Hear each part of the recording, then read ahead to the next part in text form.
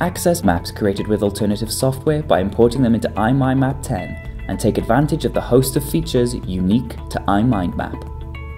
Once imported, change its theme and add images and icons to bring it to life.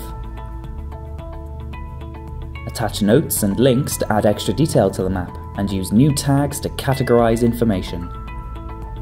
Making the switch to iMindMap? Take your previous maps with you working with colleagues, friends or family that use other software.